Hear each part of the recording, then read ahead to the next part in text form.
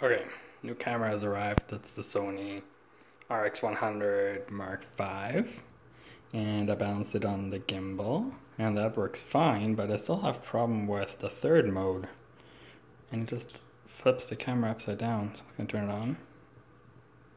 There we go, it's on. Very good. Now if I go into that pan tilt follow mode. What? Oh, there it goes. Just flips it over. Nobody knows why. And then from here, can't get back into anything. Turn it off.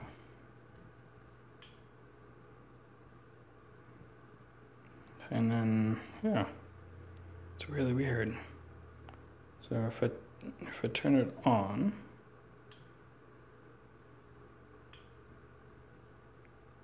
Very good. I'm to go into the third mode. That's it. Can't figure out what's going on.